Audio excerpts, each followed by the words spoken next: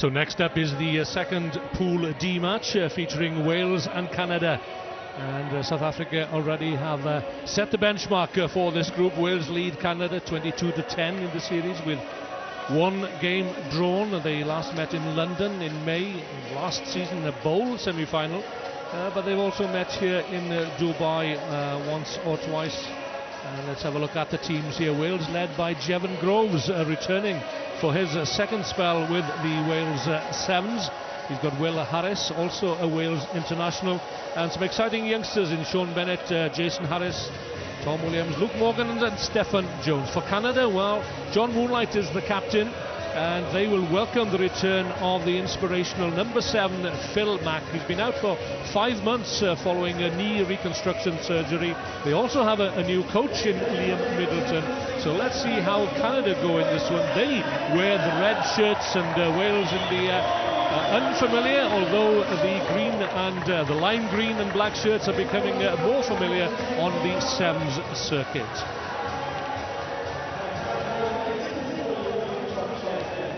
John Moonlight, there he is, the captain of the Canada from the James Bay Athletic and Ontario Blues uh, representative sides. And you mentioned, uh, I was listening to you, uh, Scott, in the uh, the opening match, uh, that it's referred to as the blowout match. Well, we know that uh, Wales uh, traditionally are slow starters, and I saw them stretch just before this game, and they were really being put through their paces. So let's hope that they can get off to a solid start here. And uh, Canada and the new coach Liam Middleton, well, he's only had some 10 days to prepare uh, since uh, he has joined the Canadian squad, following on, of course, from uh, uh, Geraint John, who is now the head coach of the Australian Sevens. So the referee for this one is uh, from New Zealand. His name is Nick Briant. As Canada, through Phil get their campaign underway. Quickly snapped up there by Conor Trainor. Ball lost forward. So it'll be a well scrum. Well, a lot expected of this uh, Canadian team. They kind of went off the boil after Geraint John uh, left the squad. The players were absolutely devastated and uh, you know, really after all the, the good work that they'd done throughout the season, they ended up in the Commonwealth Games and didn't quite fire. So let's see who'll fire the first uh, shot in this one. Number two there, that's uh, Thomas Williams, the uh, scrum half, uh, the very promising scrum half from the uh, Cardiff Blues. Wales into the Canadian half then for the first time. They'll get a penalty. Canadian player Sean Duke coming in uh, from the side. Out it comes very quickly to Jevon Groves, on to Sean Bennett, the youngster been plagued by injuries in uh, recent seasons. The Wales under 20s representative, not the best of passes. Williams can't gather. So Wales go to ground just outside the Canadian 22. Referee Briant in very quickly to uh, penalise uh, the player for holding on to the ball after the tackle. Oh, the snap that pass there by Jevon Groves, but Wales not back the mandatory 10 metres. Yeah, Nick Briant just sharp on that, he had an eye, but that loose pass could have cost them deal. This is Lucas Hammond on the ball from the Toronto Nomads and Ontario Blues, 21 year old. Passing is not crisp as it first thing in the morning. So difficult to get your campaign underway unless you're up ready and uh, and willing. Moonlight, long pass out to finding Conor Trainor, cuts back inside Steffan Jones. Trainor still going now, then where's the support? Moonlight is there, he might not be needed. The captain, can he get in? Uh, the tackle coming in from Steffan Jones, right on the Wales try line. He reached out short, says the referee. Well, we'll have another look at that one. Tremendous effort uh, from Conor Trainor. And Nick Briant again right on the button, wasn't he? As Moonlight reached out across the line for the dot down. He had supported the pass. Here he goes. Oh, oh. Good just, call. Just like a worm short on the fishing trip. Yeah, good work by uh, Steffan Jones. So let off for Wales. Need to have their wits about them here. One or two players blowing already. It's uh, played at quite a pace this game. In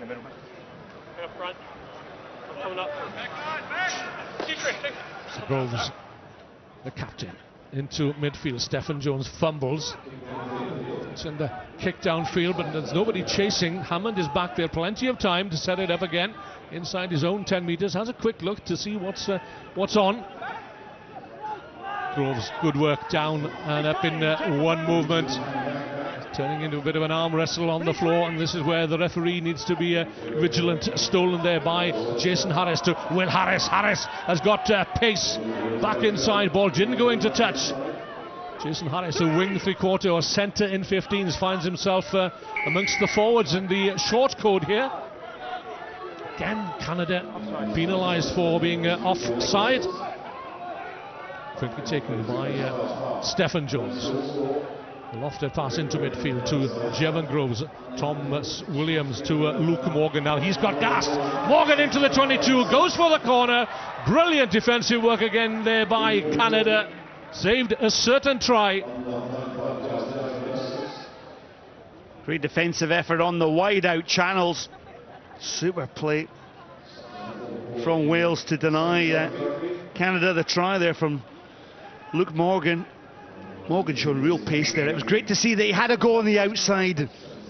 He has a good strike rate as uh, Luke Morgan, 27 tries in his uh, sevens career. Climbing high, the captain, John Moonlight, Canada. On their own try line, Phil Mack, oh, crossing surely. Yep, that's uh, confirmed by the referee. Wales want to take it quickly through uh, Will Harris. There should be men over here. Jones tries to uh, dodge the uh, the Canadian tacklers, and three or four Canadian players have been sucked in as Harris goes again. Groves, can he get there using his strength? But no, Canada hold them out still, still waiting for the first score of this match. Out on the wide, uh, outside is Jason Harris, and is he going to be denied as well? Uh, try confirmed there by Nick Briant. Well, Wales had to work extremely hard for that try on the wide outside with Jason Harris. The defensive effort of the Canadians, magnificent. But Harris uncorked the Canadian defence. Yeah, Harris, uh, prolific try scorer for his uh, club side, the Carmarthen Quins, the club of uh, your friend uh, Ieuan Evans, uh, Scott. Yeah, Ieuan the flying machine, and this guy's uh, no slouch either. Harris did well there, and the conversion is a, an excellent kick from the sideline, so it's a first blood to the Welshman, and this is how the try came about. Yeah, Mike uh, Fuailefau in winning that three jersey for Canada didn't quite get that tackle solid on his opposite man.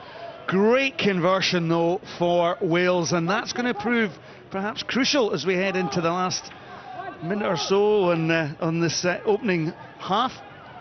Good family support uh, for Harris out here in Dubai. His mum and dad are here, his, uh, uh, his sister, his uncle, and his grandfather as well, I'm told. Was he paying for the flights? yeah,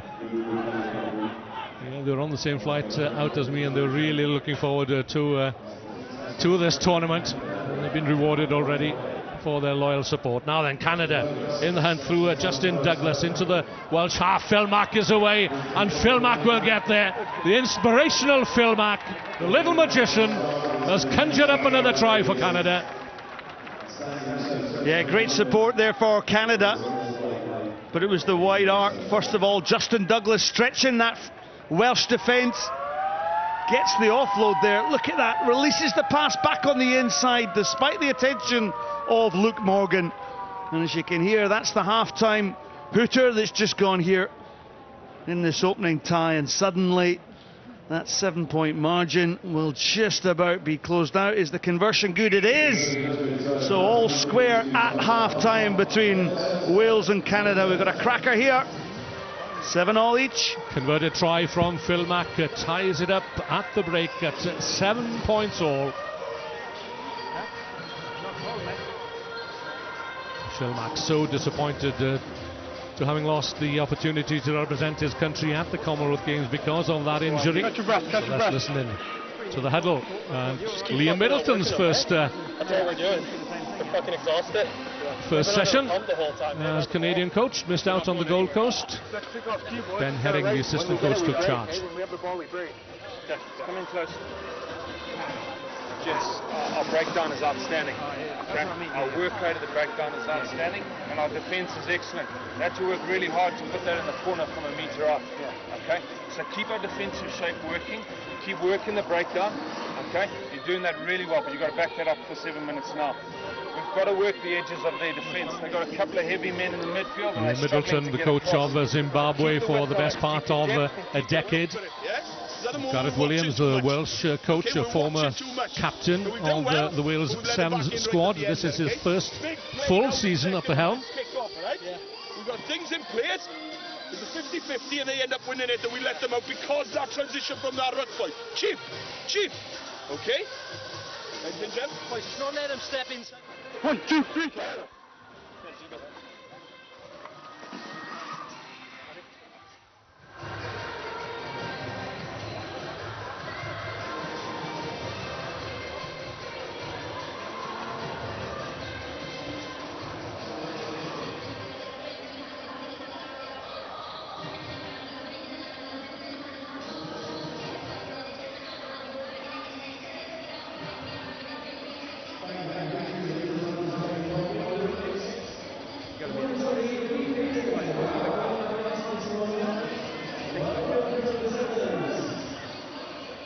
Nothing to choose between the teams at the break, and so important to get your campaign off to a, a solid start.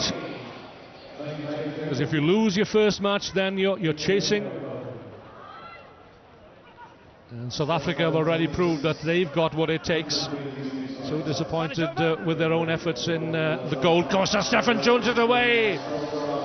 The support is there. Harris can't gather. What a lovely pickup by Tom Williams. But they'll have to come back. The ball had been nudged forward. Well, interesting. Just before the kick-off, Steffan Jones uh, was receiving a, a lot of encouragement from Gareth Williams, the coach, and well, he had an opportunity here. Great little step. I thought he was away, but surprise, surprise, Phil Mack. But what about that for a pickup? But the uh, the ball was nudged forward. But Phil Mack, again, such an instrumental part of this Canadian seven. Mack has already proved his worth, hasn't he, in the opening minutes uh, of uh, his Dubai campaign. But we do need to be balanced. We can't be in. It is. Look at the way he ducked under the handoff there of Stephen Jones. That's where it was nudged forward, just there. Sorry, got a sub. Otherwise, the pickup there, Williams, absolutely outstanding. Got to be looking good in a cricket uh, shirt, that one. Stephen Jones is the man to depart for Wales, but look who's coming on.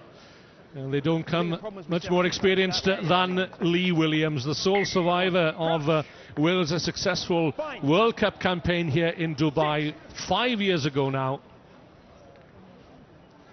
Phil Mack up against Lee Williams for the uh, first time that uh, they've locked uh, horns many a time and Wales have uh, ripped it clear. There should be a try here for Luke Morgan. Morgan for the try line. Try for Wales.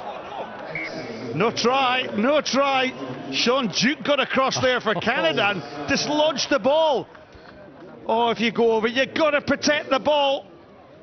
Luke Morgan denied the try by Sean Duke. Well, Gareth Williams will be livid. Saw something similar, didn't we, in uh, on the Gold Coast? The Fijian uh, went over the try line, but tremendous chasing by the Scotsman on that occasion, denying the Fijian the try. Well, Gareth Williams, he'll, uh, well, he's chewing on, on his uh, accreditation there. Tremendous defence, though, from Canada. First of all, Phil Mack. Sean Duke also with the tackle. Back again, Canada under pressure here on their own try line. That's uh, Sean Duke uh, taking it in. Looking to break clear. This is Conor Trainor up over the 22. Gets support from his captain, John Moonlight. Luke Morgan using uh, the touchline as uh, an extra defender to uh, haul down Justin Douglas. Number four, move to the side, please. Morgan penalised for lazy running. Now then, let's see what Fuailefau can do with ball in hand.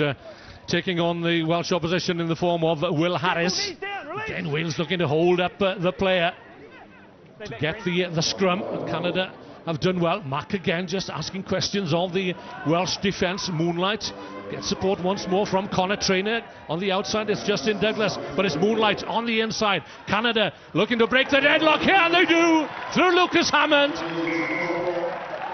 Well, such are the fortunes of Sevens Rugby. Wales denied the far end and the patient build-up from Canada, and they go into the lead. Well, Captain Moonlight with the assist. Look at this. He stayed strong in the contact area. Stays big, stays big, stays big. Gets that offload. And Canada, well, they've stretched and got themselves back in the game, having been 7 0 down. They pull one back at half time on the stroke of half time, and now they lead this Welsh team. Canada had their best uh, season ever in 13-14 uh, and they proved what was possible as uh, Geraint John, the former coach, he pushed and pushed and pushed again. So Mack dropping just on the 10 metre line. Williams has to uh, track back. Faced by uh, Fuailefau. Just under three minutes to go in this opening uh, pool match for both these teams. Morgan goes to ground. It's advantage Wales.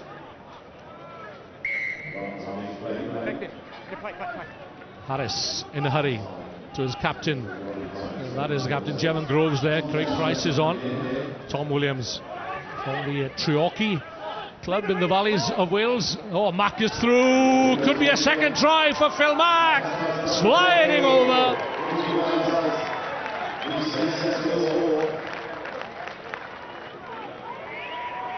Well, how often have we said it? Phil Mack, Victoria, BC, and James Club. They turn over here, moonlight in, but Mack was quick there.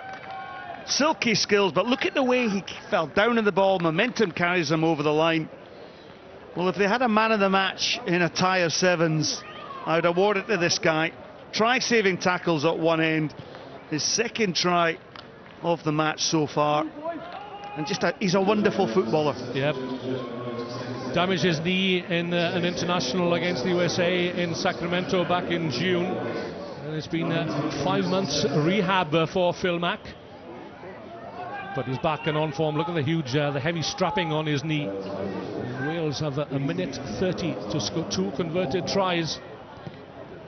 It's a poor kickoff by Phil Mack. So here's an opportunity, but Wales need to get their hands on the ball quickly here and uh, get a quick score. Halfway line, mate. Another few seconds used up there. As the referee insists that the ball must be uh, penalty, the free kick rather must be taken from halfway. Will Harris looks to get away. He's tied up there in danger of becoming isolated. Williams to Harris into midfield. This is Tom Williams. Craig Price on the outside takes on uh, Fuailefau and uh, John Moonlight. Good work by Moonlight. Uh, lucky. Got his hands on the ball. Harris as Wales come in search a try which could bring them back into this match. They need to get the ball over the try line and restart to Morgan. In behind the Canadian defence, just half a minute. Wales desperately need a score here. And the ball in touch, no, still alive. It's there for Price, not the best of passes.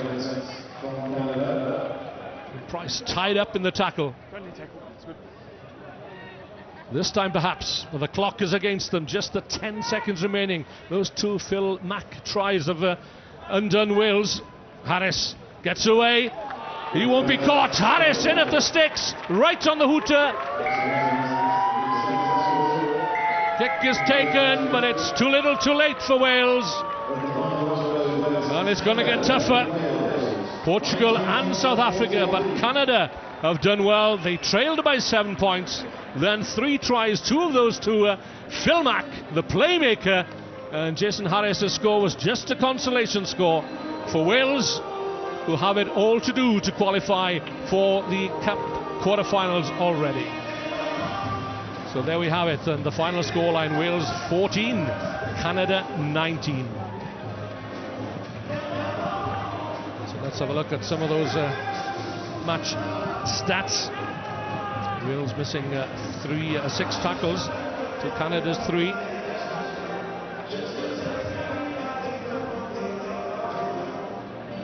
Tackles completed.